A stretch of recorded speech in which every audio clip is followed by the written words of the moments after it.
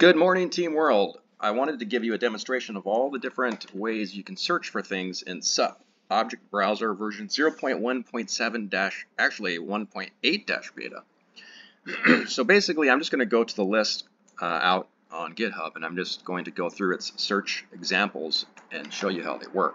So the first one, first one on the list is actually an, an address searching the main chain, and in SUP, the main chain is currently hard-coded to Bitcoin testnet. But the main chain can be Bitcoin or it could be any block or any altcoin uh, based on Bitcoin. We have hard coded it to Bitcoin testnet as this is just an experiment and we have a lot of testing yet to do and we're hoping that you help us. So let's try this first search. And I'm searching for an address on Bitcoin testnet. I'll hit enter. And you'll notice that when I hit enter, my name here showed up, EMBII for you. that's because at some point I've created a profile at this address, and then you can see that it loaded all of the object associations that it found here at this address. Once, uh, uh, once you have found an address, you can also use the created uh, filter here, which will show the objects created by this address, and the own filter here, which will show the objects owned by this address, if there are any. That's uh, with a future release, you'll be able to click on profile and, and, you'll be able to view more details about this profile, as well as uh, have a, a, place where you can send them direct messages and uh, thing, say, see things that they are posting as well. Similar to Twitter, I guess. Uh, you'll also, in the future, have a mint button here, but SUP, uh, until the 2.0 release, will be only will be read only. Uh, the 2.0 release is coming. Uh, we'll be dropping that probably sometime in June. All right, so that's the first search uh, uh, type. We're going to go to the next on the list, which is basically searching the uh, main blockchain again. Uh, this one is searching by transaction ID. And this transaction ID actually has a web page etched into it. So you can see it, the the URL is transaction ID slash index.html. So we'll search for that. And this went out to Bitcoin testnet and it found this web page in it uh, and it brought it to the SUP browser for you. And you can see it running in there. Pretty cool. so this next search is we'll be searching another blockchain. In this in this one, it's a uh, side chain. And the side chain that we'll be searching is Bitcoin production. So we're using production to simulate a sidechain uh, in here uh, instead of using, uh, like, for instance, this could be like Litecoin or Dogecoin or something that, to that to that effect. So again, this is the short name BTC transaction ID index.html. So this is also a web page, but this one is on Bitcoin production. So let's search for it.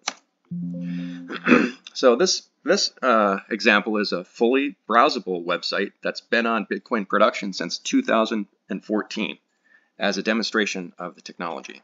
And you can see that it is uh, fully browsable within the browser.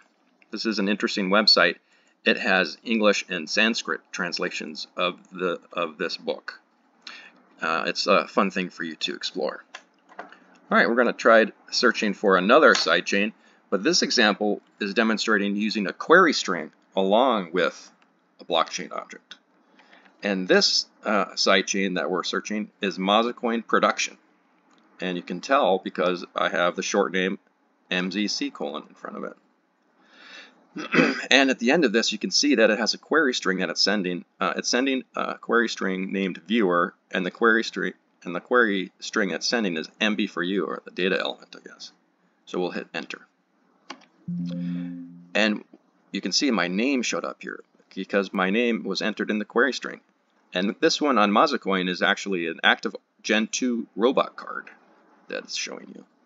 Uh, so let's, uh, to show you that this is actually reading the query string, we'll just put some things in here. Sup? oh, I don't like that. Sup? Oh, let's try the question mark. Actually, this Sup? ooh, ooh, ooh, ooh. Anyways, well, you can have a lot of fun with this. Uh, that uh, this this Gen 2 robot card is takes any string and converts it into a robot card. That is basically a card with some uh, Dungeons and Dragons inspired uh, stats, uh, emojis, and fades, and gravity balls, and things of such of such natures. All right, the next one on the list is a case-sensitive keyword. So let's try that. Get this out of here. I have set up one called fake. Oops, fake. Oh, well, let's just do it. Let's just do it like this. You can see, oh, nothing returned because that is, you know, it's a case-sensitive keyword. So we'll put in fake UFO is how it should be, and it's returning two of them. Uh, one is the official fake UFO keyword, and the other one is the unofficial fake UFO keyword. What does that mean? Well, let's see what happens if we search for at fake UFO. Nothing. Hmm. If we search for fake UFO, nothing. Fake UFO. Oops. UFO. Ah. So to get so like well there's two of them. Well, which one is the which one is the real fake UFO? Which one is the official fake UFO? Well, to find that you have to type in sup colon slash slash fake UFO and it will take you to the actually registered uh, object. Uh, and these registrations last for three years. Should I uh, die or just decide not to register a fake UFO any longer, someone else can grab that fake UFO and uh, and use it. Uh, so SUP fake UFO is uh, a demonstration of using the domain register something more a more familiar format for you would, would be having a .com at the end or some sort of dot something at the end, uh, which is how uh, HTTPS domains are.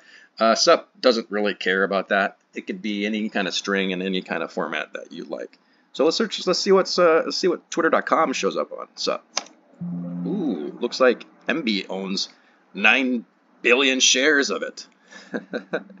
and uh, this uh, particular Twitter.com does have a URI redirection inside, but we have not turned that on because we want you to see the object. Uh, we don't want it to just redirect at the at the moment, but at some point in the future, when you click when you type in this, it's going to take you to a website. and to kind of give demonstrate that, I'll just put in a, a website here.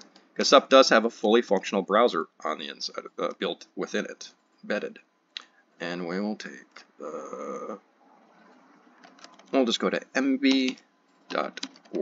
And you can see this is taking you to my splash page on here. Uh, let's take you to one that we can actually browse. We'll go to google.com. And uh, no, I don't want to do that. Let's do a search. Sup? Let's see if any, see if we show up yet. Sup? Hmm.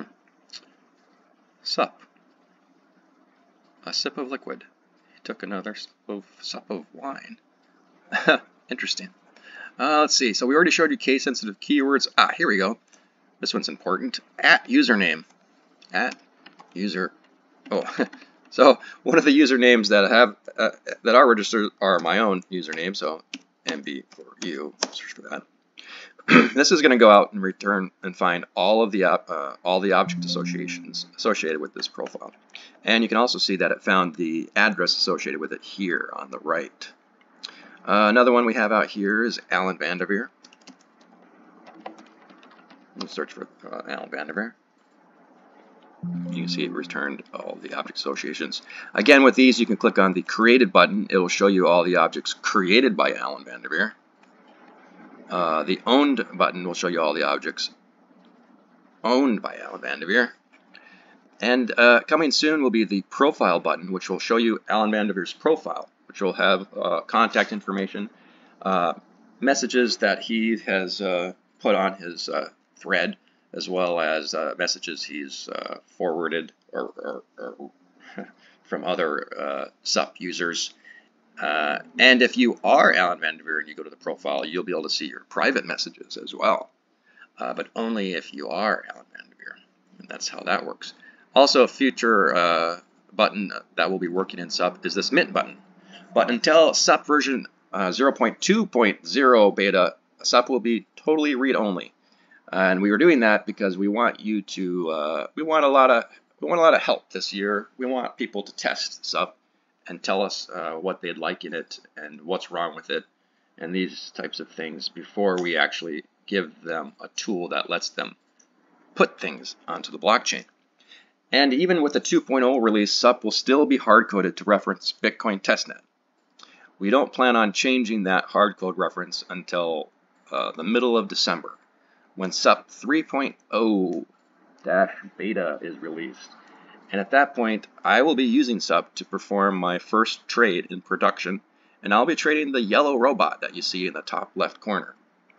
If you have a yellow robot in Bitcoin uh, testnet, I will give you a yellow robot in Bitcoin production. To get a yellow robot in Bitcoin testnet, you have to test SUP, or at least give me some sort of, you know, any kind of interaction regarding SUP and a Bitcoin testnet address, and I will send you a yellow robot up to 300, uh, the first 300 to help. All right, see what else we have on the list. Uh, IPFS. Cool, let's try that. So IPFS, to, to find an IPFS object, uh, you'll have to use IPFS colon slash slash in front of it.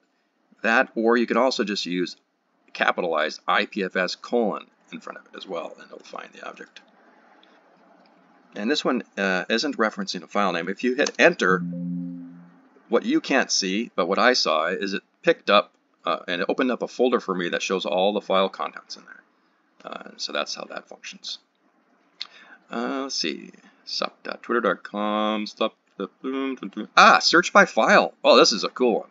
So, sup, as of 0.1.8-beta, SUP has the ability to tell you the owner of a file by dragging the file and dropping it into the browser. It will go out to the blockchains, uh, the main blockchain, which again, this one is Bitcoin testnet, and it will perform a search to see if that file has ever been uh, registered, and it will bring back the current owner of that file. Uh, if the uh, if it does find references with that no longer have owners, it won't return them. And the ownership of these can be, uh, can be transferred. All right, so let's grab a file from my desktop that I have already. Uh, let's see, registered. And to register a file, you act, you're basically putting the first, uh, you're putting a keyword onto the object when you create it, and the keyword is the first is created by the first 20 bytes of the file itself. Oh, there's the file. All right. So I'm going to drag this. Oops. Root. I'm going to drag this file onto the screen. You can see my little icon here.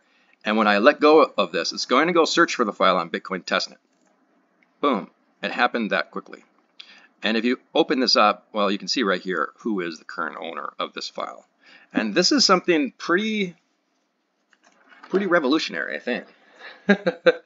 I ha I've been using the lots of different NFT platforms, and I haven't seen one where you can uh, where where you can take the file if you have it, and it will tell you the owner of it. Uh, so that's pretty rad. It should prevent right-click saving uh, into the future, knowing whether or not uh, the the object that you are trading is actually authentic and from the person that you expect it is from. All right, that is an example of the current search abilities with SUP as of SUP version 0.1.8-beta. All right, have a great day.